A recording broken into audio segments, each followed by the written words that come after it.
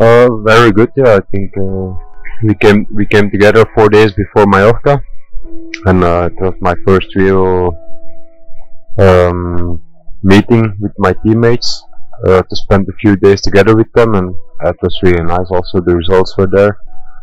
We didn't get the win yet, but uh, Valverde was always close, and uh, it was nice. And then from there on, we went farther to uh, of Valencia, where I did a good prologue.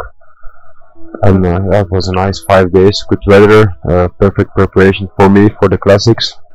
And uh, also here in uh, Vuelta Andalusia, all uh, weather conditions are good, good parcours, and um, yeah, it's, it's for me it's a good build-up direction the classics, and uh, I think I do uh, good preparation.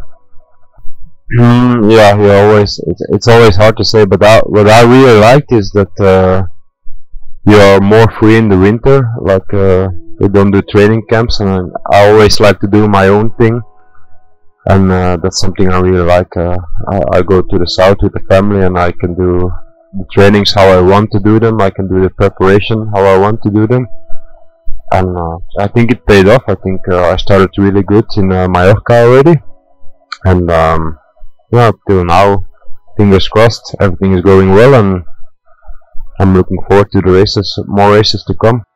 The First races in Belgium with Omloop Nieuwsblad and Kuurne I think it's the first time Movistar uh, participates in these races.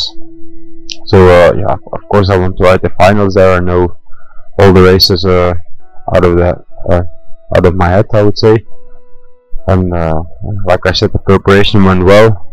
Of course, they are very nervous races, but um, I think this is already the first big goal of me, and then um, yeah, then then the rest of the Flemish races. I think from Milan Sanremo on to uh, Paris-Roubaix, all races that suit me very well, where, where I already did some podiums.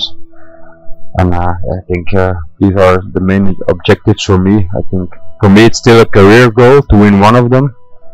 I was already second, third, but uh, I didn't win one yet. So uh, yeah, I think first of all is the ambition to to ride the final, of course, and uh, let's hope for something more.